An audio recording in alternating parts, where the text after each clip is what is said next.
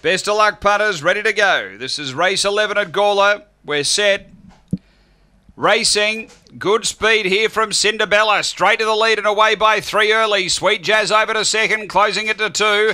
Three away next, Spring Jarvis. Then Why Not Live, Luna Luna. Next, Gold Trail, Buller Top Shelf. Then Rusty Dreams, who's out the back. Up front, though, Sweet Jazz rushing up to Cinderbella. They turn together. Sweet Jazz has got the head in front and drawing clear now. And Sweet Jazz beats Cinderbella. Third, Buller Top Shelf, I'd say, just from Spring Jarvis behind those Gold Trail. Uh, next in Why Not Live from Rusty Dreams and Luna Luna. It was back at the tail end. The time is 23 and 21. After race number 11 and number 5, the winner, Sweet Jazz.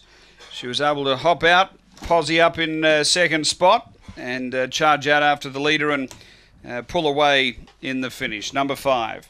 Simon Gesler for the uh, started with a whip syndicate managed by two Catamol, a fawn bitch, uh, December 2014, Cosmic Rumble, Sweet Equity.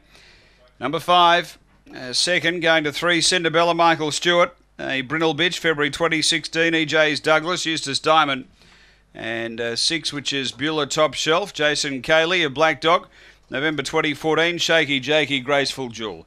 It's 11, uh, sorry, race 11. It's 5, 3, 6, and 7 after the uh, running of the last.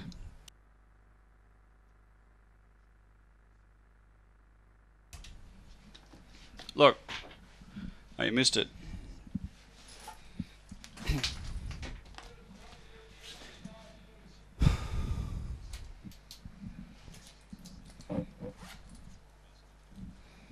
It's all clear. Five, three, six, seven. All clear. Thanks, guys.